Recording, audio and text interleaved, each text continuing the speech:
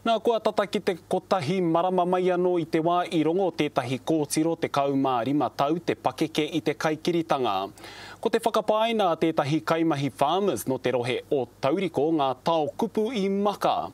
I karangahia rāua ko tana whanaunga he Houhou i a rāua e hoko perehana ana mō te Kirihimete. Hei tā te pūrongo a Te Ōkiwa McLean kāre anō te toa farmers kia tuku whakapāha me te hui tahi rānei ki te whānau.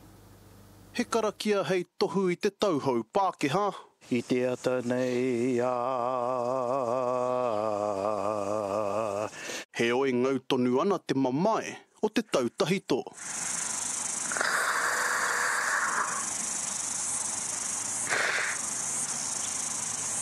It's okay.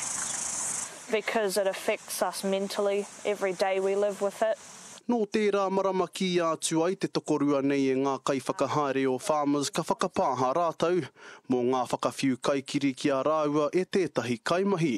They promised us a meeting um it was on Thursday the Thursday following the event um and they said what meeting um and they requested that we wrap this up um on Christmas Eve um and we declined and said no we will wait until the new year. He take tēnei kua paoro ki ngā kokoru o te motu, e rua rawa ngā tono ki te Komihana Tika Tangata, tae rawa ki ngā mema tōrangapū.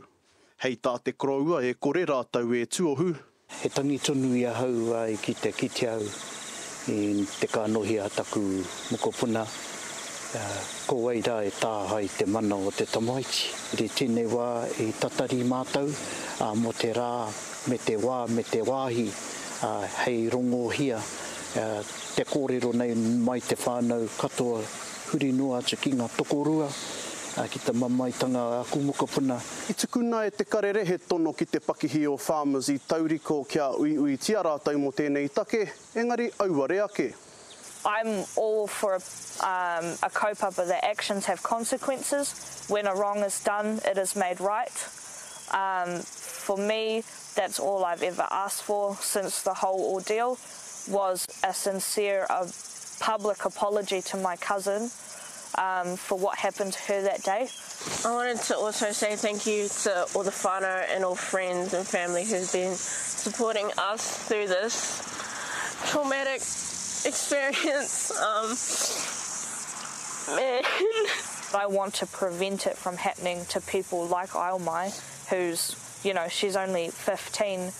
turning sixteen soon um you know I want Māori to be able to go out and shop without looking over their shoulder or um you know being thought of as a thief. Ka mutu ko te manako rā ia ka tutuki te tūtakinga ōkawa me te whakapāha i mua i te tuangahuru o tēnei marama, arā kia utua te kino, ki te pai, Te Okiwa McLean, Te Karere.